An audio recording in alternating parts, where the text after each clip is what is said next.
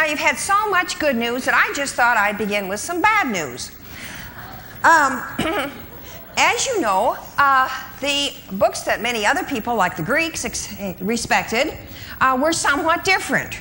And this is one of the holy books, or at least a highly regarded book uh, in, um, in Greek.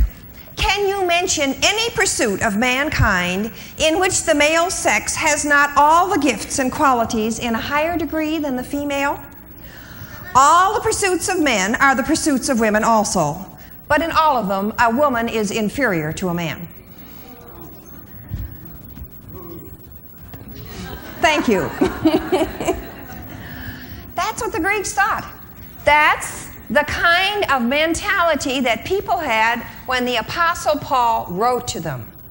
Now, it's one thing to come forward and receive Jesus Christ as personal Savior, even to seek to make Him the Lord of your life, and not to have very much understanding, not to be able to understand what comes next. It takes a lot of time to re educate yourself and to develop new attitudes. As we all know, it doesn't happen all at once. Uh, we know that the old things pass away and all things become new. But for those who had been taught that a certain way was right, that certain things were eternally true, it didn't come at once. Now, when the Apostle Paul wrote to the people of Corinth, he wrote to a really flaky bunch. And yet he said they came behind in no gifts of the Spirit. They had all the gifts, but they sure did mix them up. Now, one of the very pious and religious things that they did that we read about is that they got drunk at the Lord's Supper. You mean you don't think that's religious? Well, let me tell you that it was very religious if you were worshiping Dionysus, the god of wine and madness. And you got drunk unto Dionysus. After all, he'd given to humanity the wonderful gift not only of the vine, but also of fermentation. Dionysus himself had taught people how to make wine, of course, could do some very interesting things. And so you celebrated by getting drunk. And Paul had to say, in Jesus Christ, we don't do this. He had some very stern things to say about getting drunk. Now, if you may remember some of those pictures I showed you, those of you who were here yesterday. As you found out already, I love to let the Greeks talk for themselves. And uh, when I'm not reading quotes for them, then I like to show you pictures, and we'll see some more pictures at the end of the hour. And um, they used to uh, do uh, one of the things they did in honor of Dionysus was to switch clothing. Men wear women's clothes, women wear men's. We know from an author who lived right in the New Testament period that they were still up to it. The vase paintings that I showed you were earlier. They were about three or four hundred years before Christ, and there they were up to the same thing, uh, switching clothing, and uh, thinking that this was very religious. But when it comes to worshiping Jesus, this is not religious. Uh, this is not the way to go. We glorify the God who, according to Scripture, made male and female. And you remember I started out and said since my husband wasn't here, I was going to try to cover all the Genesis material. Since Gilbert did so well yesterday, and I'll be getting back to some of the Genesis stuff, I'm going to reorganize what I'm going to do today, and I'm not going to go back so much to Genesis. I'm going to keep on with 1 Corinthians 11. But I would like to say that one of the big things that Paul is talking about here in 1 Corinthians 11 is that if you're a man, it's good. If you're a woman, it's good. And you don't need to switch. In some of the cults, there were males who would actually castrate themselves. I even showed you a picture of a man dressed up as a priest. And they would get so worked up in their religion that they would take a sharp stone or a, sharp, a broken piece of pottery and actually emasculate themselves. And then they would serve uh, the goddess Cybele as she priests and they would wear jewelry. They remember the woman had, um, I mean, the man had a veil on, and he had earrings and all kinds of things, uh, demonstrating uh, that he was a woman. You could actually try to change your sex in honor of a god. And Paul says, not in Jesus Christ. We don't do this. We are male and female. Uh, Paul comes out and says that a lot of you people in this congregation were once led away by pagan idols. Now, the word he used was getting very worked up, very carried away. They did a lot of very unfortunate things, uh, often very destructive things. And particularly, the women often got into very, very destructive modes of worshiping. Now, the Greek community in general interfered with the free practice of women's religion with some right. Uh, I showed you pictures of women dancing, and I told you that uh, once every other year they would go on a big binge. Often they were not let outside their houses. Now, marketplaces in Greece were nice and broad and sunny, and they built beautiful public buildings, and they had wonderful porches where people could sit around and talk. And the men could go there if they were rich enough so they didn't have to spend all day working, and they could have wonderful philosophical discussions. And the women had to stay at home. Uh, they weren't even allowed to come to the window. I'll tell you a little story about that in a minute. Uh, they were not allowed to know what was going on. And the typical response, if we're to believe what the ancient authors wrote, if a wife asked her husband what was going on today when you met in the city council, his answer was, Shut up, it's none of your business. Oh, some of you have heard that too? It's not what Paul says to do. And so, instead of that, uh, Paul is going to ask his women to go and discuss Jesus when they get home. And he's going to say, Bring them into the church, bring them into the assembly. Uh, it's very interesting. The same word that is used for assembly in Greek is the word that is used for church. Aristophanes even wrote a play about how the women got so disgusted at the man, men for making war that one day they all got up early and they put on their husband's clothes. Here we go, right off with the clothing switch. And they tried to talk in deep voices. And they marched into the assembly room because the first 400 people who got there were the assembly for that day. And they tried to outvote the men. Now, one of the interesting things that they had to practice on the way, besides talking Greek, I mean, talking deep, of course, they had to talk Greek too, was that they had to learn to swear by a different bunch of gods. Did you know that women worshiped different gods sometimes from the men? On different days, in different ways, women did a lot of yelling. We're going to be talking more about that. They sometimes, there were certain temples that sometimes only men could enter, other temples only women could enter. It was a very, very segregated religion. Even Plato said that if you are going to design an ideal state, the way to begin is to decide which festivals are religious festivals for men, which festivals are religious festivals for women, and which they may both attend. The Athenians went one step better, they even had separate religious festivals for the prostitutes. But Paul says something different in 1 Corinthians 11. Let's go back and look at it again he is arguing against sex segregation. I believe this is something we need to stress. Sometimes women want to get into one corner and men want to get into another corner. Or sometimes we say women can't have any part in the decision making of this church. And the women say, well, good, let's have a women's fellowship and we'll raise money for missions, and that's our mission money. And we'll study missions, and we won't let the men know what we're up to. And we'll get all the information about missions in this church. And we'll have a Bible study, and we'll learn the Bible, and we'll get a corner on the Bible.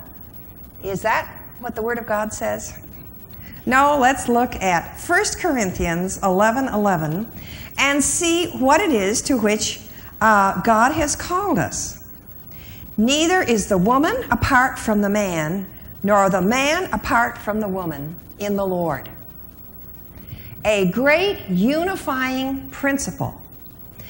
Uh, in early Christian churches, sometimes men and women were separated. We know that in the temple there was a court of women, and they couldn't go any further. The Jewish male could get in further than the woman, she just couldn't get as close to God.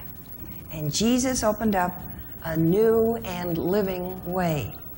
And one of the cardinal things that we learn in the Genesis story and that Paul recycles for us here is that we belong to each other. Now, sometimes women get mad and they say, you know, man is the enemy. No, that's not what the Word of God says. The Word of God says, I will put enmity between thee and the woman. You know who he said that to? So if you know people who don't like women, well, you know whose side they're on.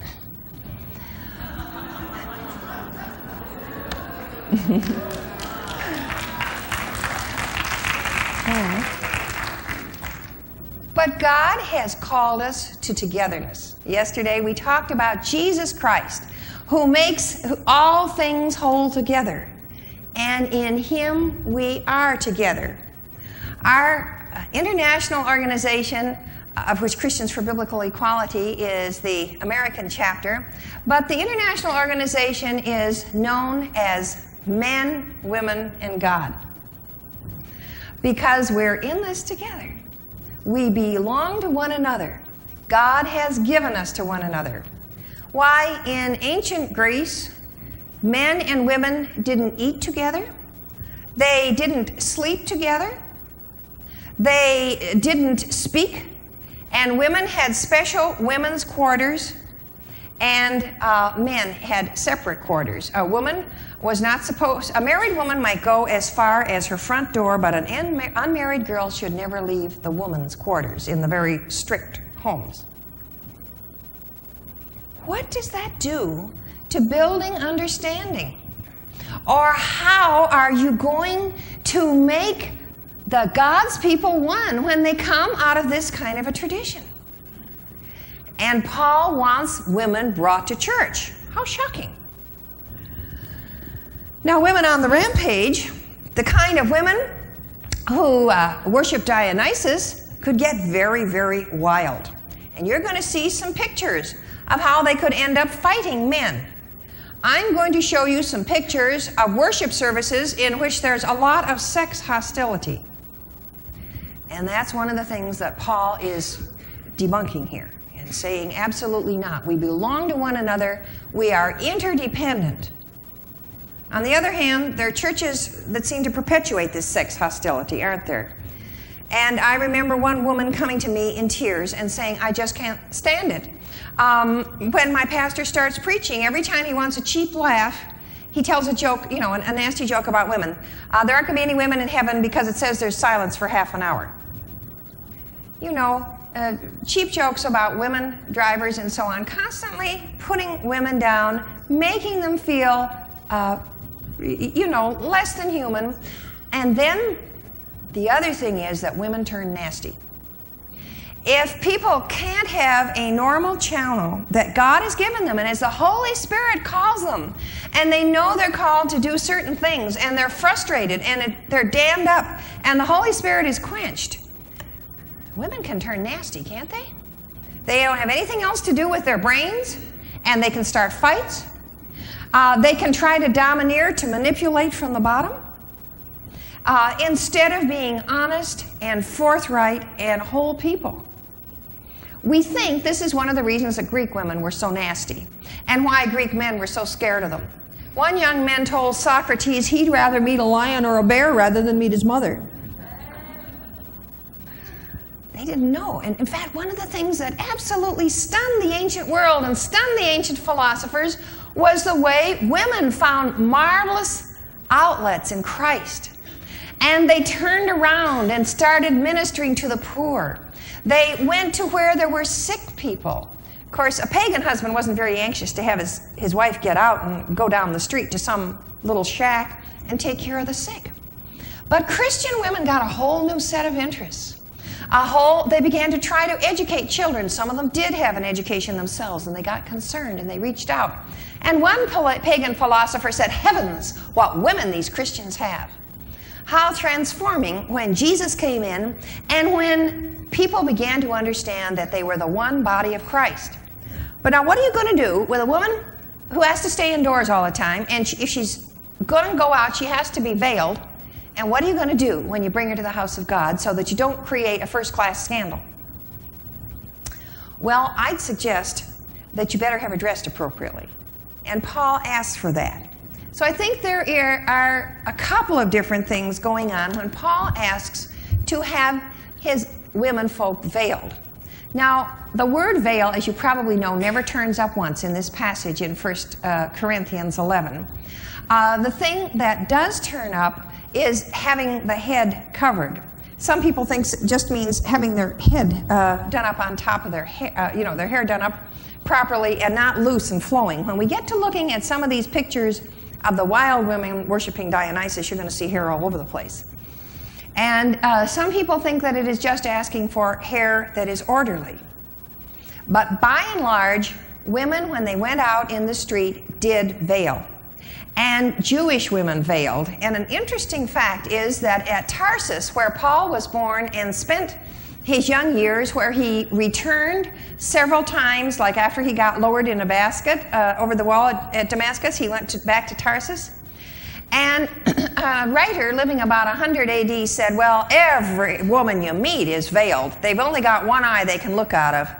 But I bet they're just as lewd as anybody else with that one eye. Um, and so propriety did demand that women be veiled. And I think we need to understand that. It was a very scary, risky thing for a man who had just found Christ to dare to lead his wife out of the women's quarters she only got out otherwise to burst out, rampage on the mountain, and misbehave and so on. It had been a very risky thing. And was this going to turn her into a lewd woman to bring her out? Well, we better make sure that we observe the proprieties. And I believe that this is the reason that it says in verse 10 that a woman ought to have power on her head, the right to get out, but she's to wear something on her head. Now, many people, most translations translate this because of the angels. But angelos also means messenger. We read in the book of Acts that the Christians were assembling right next door to the synagogue. You know who was probably looking through the windows and maybe even walking in. And particularly for a Jewish woman, to go without a veil was a sign of unchastity. Indeed, a Jewish woman could be divorced if she appeared in public without a veil. Now, Dionysus worshippers, I'm going to show you some more of them. They're women without any veil, and many of them with their hair flying every which way. Paul is going to ask that his women be appropriately covered. I've already suggested to you, remember I showed you those nice pictures of women worshiping in the buff? maybe Daisy's and, and how, LaDonna, do you mind having such pictures shown in your church? I guess if it happened 2,000 years ago, it's all right to show pictures like that, huh? Um, but I wanted you to see for yourself. I wanted you to get some understanding of, of what a worship service looked like. And maybe you know why there were laws governing the free practice of religion. I even told you that women could get so worked up that they would seize young animals and they would tear these animals apart, these are the pagans, mind you, and eat the flesh while it was raw, warm, and quivering, thereby getting the life of the god inside themselves. That was called enthusiasm, enthusiasmos. We don't use the word quite that way today, did we? Do but what are you going to do? And, and this uh, tearing the animals apart and so on seems to have been largely a women's ritual. I mean, they were really off the wall. What are you going to do when you bring a woman like that to the house of God? And you serve the Lord's Supper. And do you know a very interesting thing? This part about being veiled and so on in 1 Corinthians 11 comes right before Paul's major teaching about the Lord's Supper in the rest of 1 Corinthians 11. And he's talking about the way people should and should not behave at the Lord's Supper. Did you know that? And certainly, this whole idea of gender or of sexuality was very, very important. And it was terribly important in a community that thought as freely and as fully about sex as Corinth did. Not only did they have the garden variety prostitutes, some of the richest and the smartest, oh, and they wrote such cute books about all the clever sayings of the prostitutes. Uh, it is said that you could get really quite a thick book if you put all those sayings together. Many, many of them were from Corinth. And the city got very rich. On top of that, up on the hill, there was a temple to Aphrodite, the goddess of love. And she was served by many, many sacred prostitutes. One of the ways you worshiped was by having intercourse with a prostitute in the temple of Aphrodite. Now, you may say, oh, how disgusting. Yes, but let me tell you that they viewed these women as having religious power. You may think that, that this is um, quite where you're coming from. That's all right. I'm talking about people who've been dead for 2,000 years. And the poet Pindar praised a man who gave 50 prostitutes to the temple of Aphrodite. Now, wasn't that a nice present to the temple? Uh, you want a present like that for the church, LaDonna? You'll skip that one. But 50 consecrated women who can give their hearts and lives to Christ, that's something else.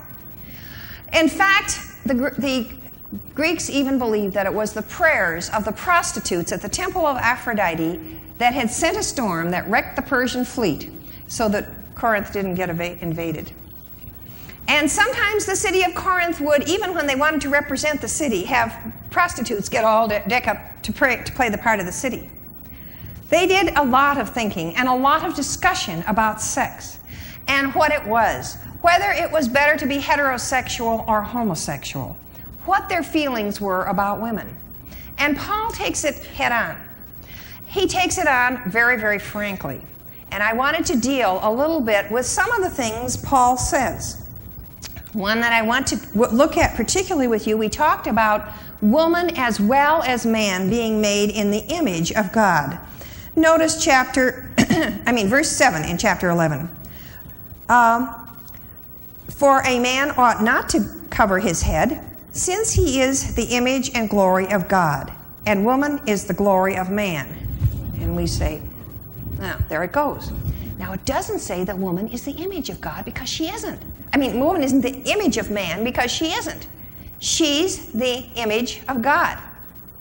But what does it mean to be the glory? Everybody seems to think that means sort of dimmer, reflected, you know, glory. Is that really a put down? To be the glory of the glory? Is that all that bad? Gilbert started to read to us yesterday some of the things in Second Corinthians about how Moses' face was veiled. And people couldn't even look at his face because of the glory that shone there. Was that a put down to glory, to, to veil that glory? And it, what about the phrase change from glory into glory? That's bad? No. Glory is anything that raises the worth or reputation or pride of the person who possesses it. That wasn't how Greek men felt about their wives. Once upon a time, there was a Greek gentleman. Uh, he lived in the first century AD. No, I'm sorry, he was BC. And he went over and visited the Romans. And he looked around Roman society. And he saw that the Romans had a perfectly appalling custom. They weren't even embarrassed to take their wives out to dinner. Much that in Rome we hold to be correct is thought shocking in Greece. No Roman thinks it an embarrassment to take his wife to a dinner party. At home, the wife holds first place in the house and is the center of its social life. Things are very different in Greece, where the wife is never present at dinner unless it is a family party and spends all her time in a remote quarter of the house called the women's quarter, which is never entered by a man unless he is a very close relation. Now, I told you I was going to tell you an appalling story. Once the Athenian army was doing very badly, they always did better at sea. And the uh, army began to fall back, back, back through the streets of Athens, and the women were terrified. What had happened to their husbands? What had happened to their sons, to their brothers? And then they did something absolutely awful. Of course, furthermore, if the enemy came in, they'd have captured all these women and made them slaves. So Greeks were very good at taking slaves and perfectly awful to slaves. And so the women were so frightened that they crept to the windows and they crept to the doors and they called out, Have you seen my husband? The, the account says their knees were shaking. What about my brother? Tell me about my son. when everything got straightened out in Athens, you know, had managed to win, uh, they had a court inquiry about it because those women had been seen at the doors and the windows, and it was a disgrace to the city. And when at another point there was a uh, great uh, celebration to honor the fallen heroes from the war, Pericles, the great orator, made a speech and he commended Athens on having such wonderful sons. He spoke consolingly to the sons of those who had died, and then he spoke to the widows and said, Just remember, greatest will be her, mem- her honor who is never mentioned for good or ill outside her own house. And Jesus called women to go into all the world and preach the gospel.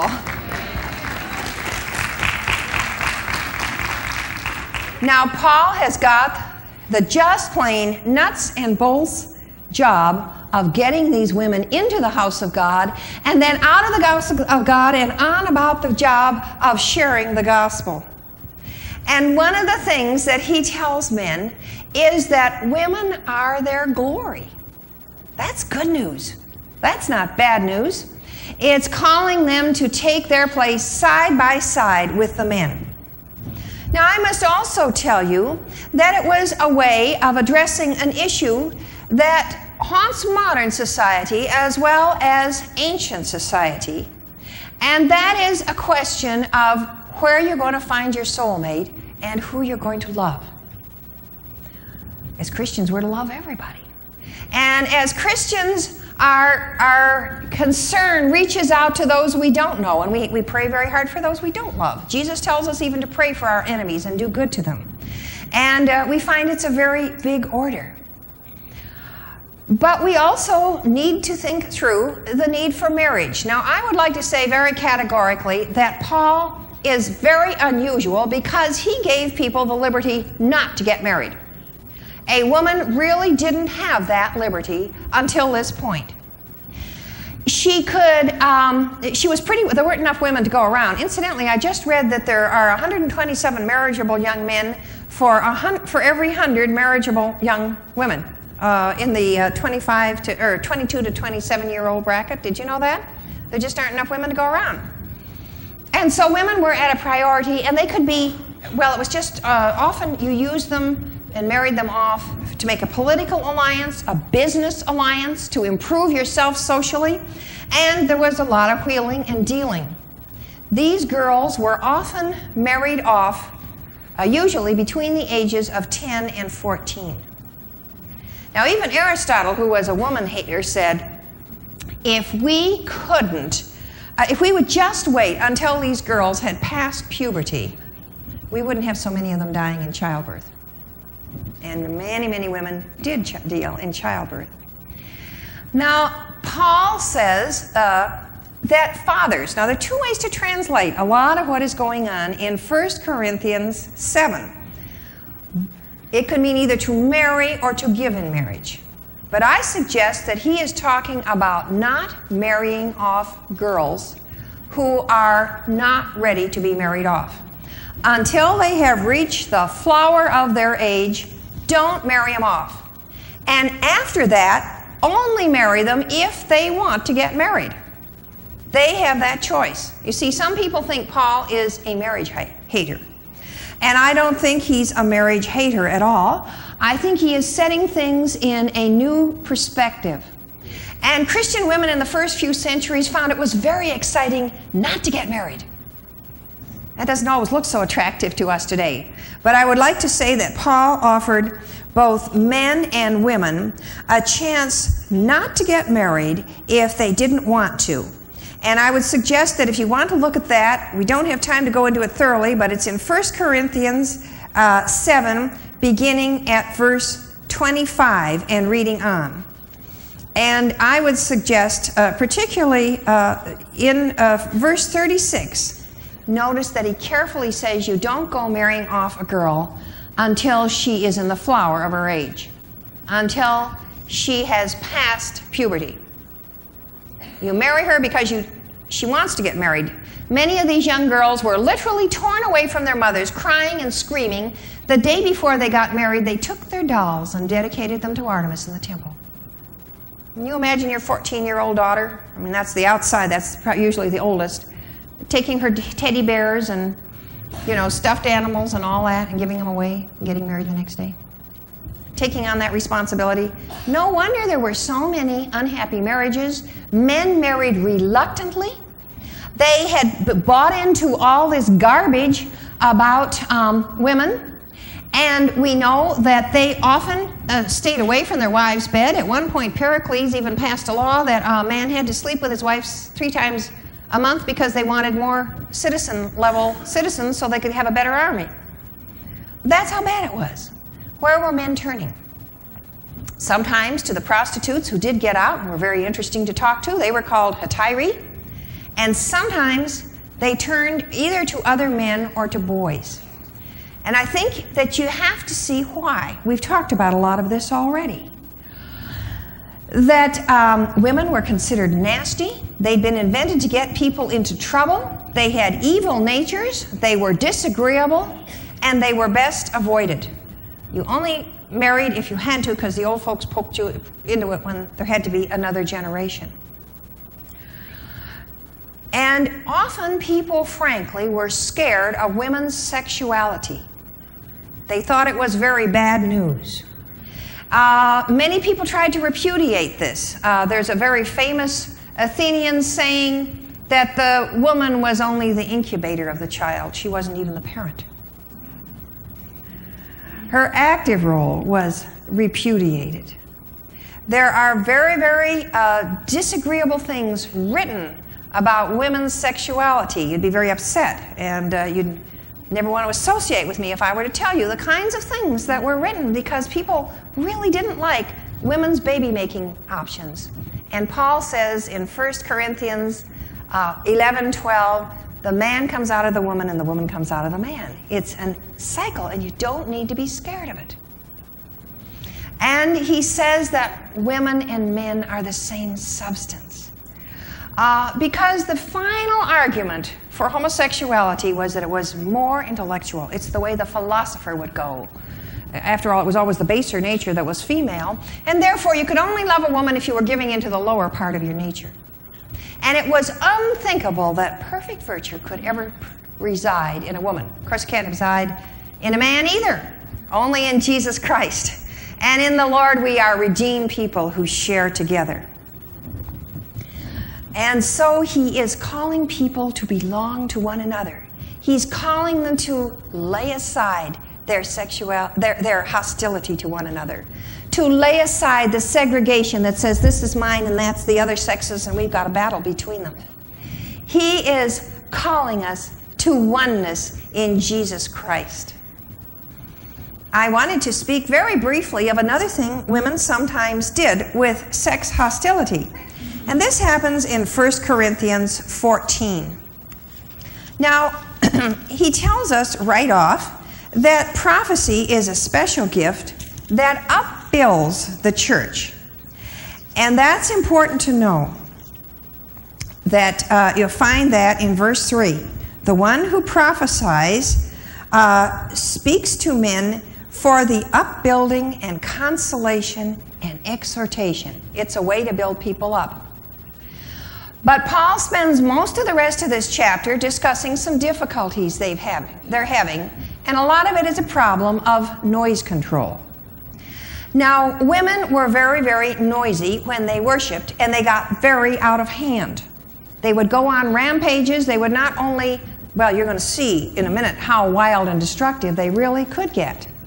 In fact, if you turn over to verse 23, it says, if a person uh, if you come together, the whole church comes together, and everybody is speaking in tongues, and someone comes in who is ignorant or doesn't, he's an unbeliever, will they not say that you are mad, insane?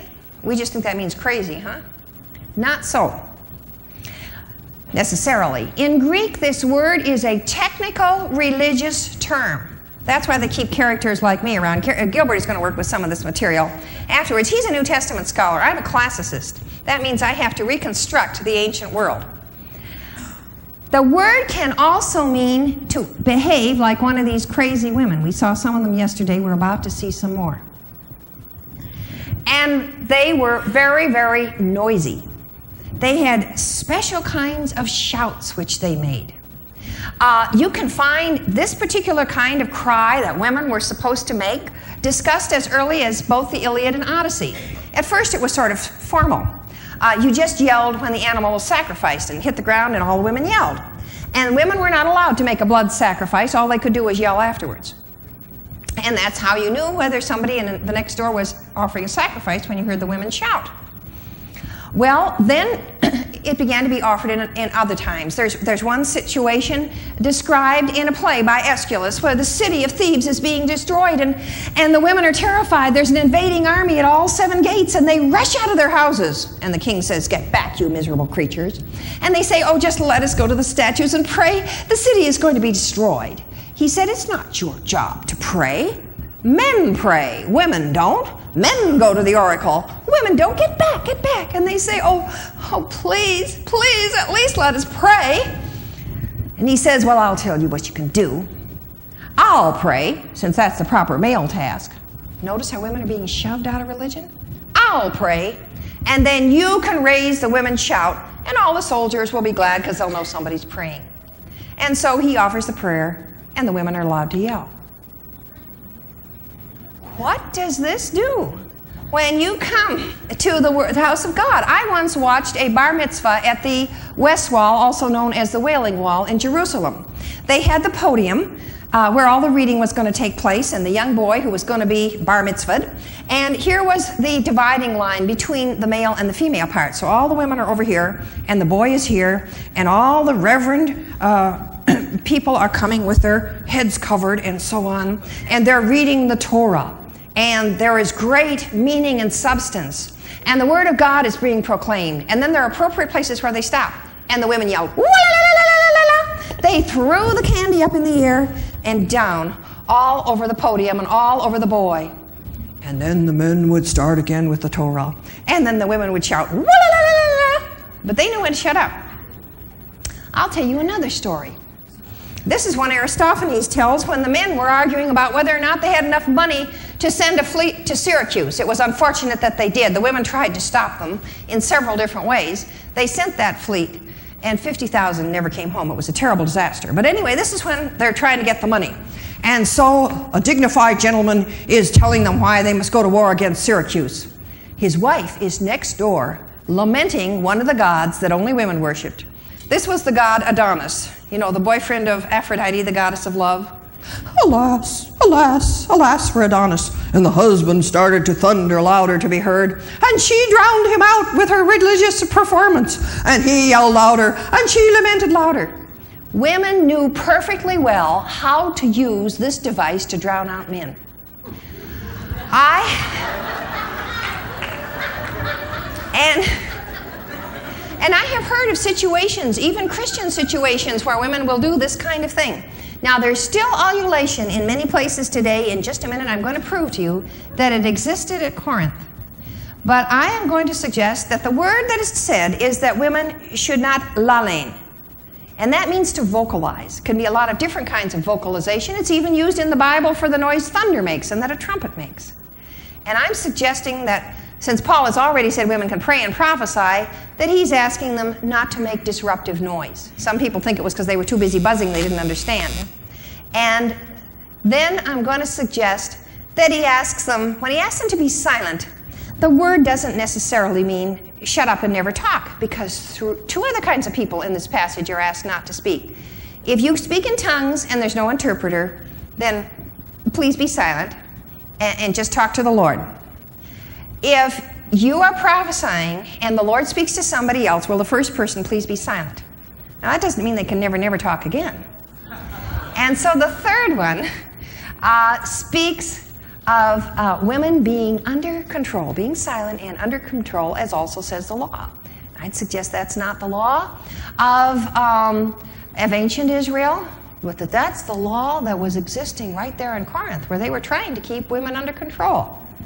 And uh, I, I, would suggest that that's what's been doing. Now, I've been talking a little too long. Do we have this um, uh, screen down, or can we uh, send it down? I would also, uh, while this is coming down, um, can, can, we get it down? Okay. Mention um, that submission sometimes means self control, and it is used that way in, in this passage. But now I'll tell you uh, what we're going to see first. I'll try to save a little time. I'm going to show you again some of these women worshiping Dionysus. The majority of people who worship Dionysus were women. They carried on so badly that if you go to the Metropolitan Museum in New York, you can see a big stone listing the laws. And it got so badly out of hand in Rome that no more than seven women and three men could gather together because they just made too much pandemonium. Okay, let's turn on the, um, uh, the slide, please. And first of all, we should see women out on one of these binges. They still continued into the New Testament period. Fire away as soon as you're ready. And um, Plutarch tells about a rescue party about 100 AD that had to go up on the mountains and rescue these women because they were in a snowstorm. Uh, let's do uh, the first slide. Now, you can see it was a rather fun kind of religion, particularly if you were never allowed out of the house, never talked to, sexually deprived, uh, sometimes even deprived of food. Women uh, did not get as much meat as men. Oh, well, we got the wrong one. That's all right. Here's Dionysus dressed up as a woman. Do you see? Right over the altar, he is dressed as his own priestess. Do you see half of the deer? And in his other hand, we can't see it so well, he's holding half of a young deer. I told you that women became so destructive that they pulled apart young animals. Okay? Let's look at the next one. Uh, someone asked me a question. I'm sorry, I missed it. Okay? Now, this next one is again of these dancing wild women called maenads or mad ones. And this is the word that I said is used in 1 Corinthians uh, 1423, will they not think you are playing the Maenad? Uh, and here you see them uh, dancing and behaving quite wildly. The one woman here probably has her mouth open, making this distinctive yell called Ololugia that was very much part of Dionysiac cult. They are holding poles, uh, some of them, or you can see the poles, which are called thyrsus. That's one of the reasons that we know that this is a religious picture. Uh, and they have fawn skins, uh, and that is also an animal. All members of the cat family were sacred to Dionysus. Next picture, please. Uh, here is the dancing. We looked at this one yesterday, and the dreamy state. We're going to see a much wilder state of excitement and of being out of control in the next picture, okay? See? now, here she is again slumped over on one side, has her animal. Do you see the snake? Look at the hair. Paul is calling women who have been into this. And the very word that he is using in the Greek when he says, You were carried away by dumb idols, in 1 Corinthians 12, 1 and 2, is a word that describes this kind of behavior. She's not exactly ready to sit down and listen to LaDonna's sermon. Okay, next one, please. Now, here we come to a very interesting story. This is a broken piece of pottery, but do you see that the Maenad has a piece of arm in her hand? That's King Pentheus. He once dressed up like a woman and hid in a tree so he could spy on the women's rites. And Dionysus told them to get him down. They really thought it was a lion and they pulled him to pieces. It's a very grisly story in Euripides' Bacchae. Yes, these women could be destructive. They, they pulled Orpheus to pieces. They pulled several people to pieces. They were good at also pulling babies to pieces, okay?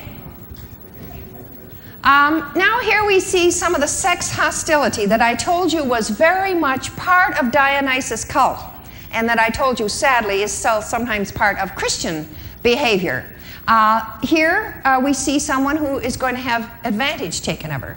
Sadly, there's a lot of sexual harassment in the Church of Jesus Christ today.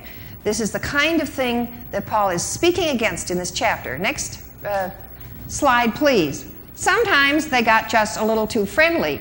Notice the thyrsus and the animal. This animal is actually a nursing animal, but I fear the worst for it. Even though it's a, a young panther, it's probably going to be torn apart.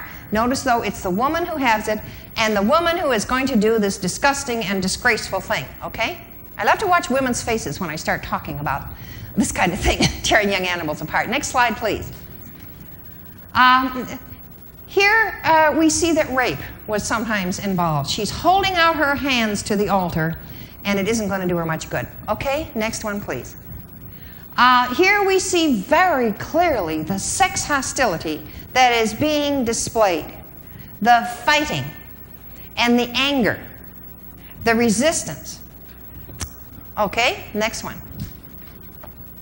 This is just plain teasing, but she's plenty mad. She's got her thyrsus, this pole with either ivy or uh, uh, maybe pine cones tied on the end, and I think she's going to haul him and you know build him a good one, and he's got it coming. Okay, this is just teasing, but that can be harassment too.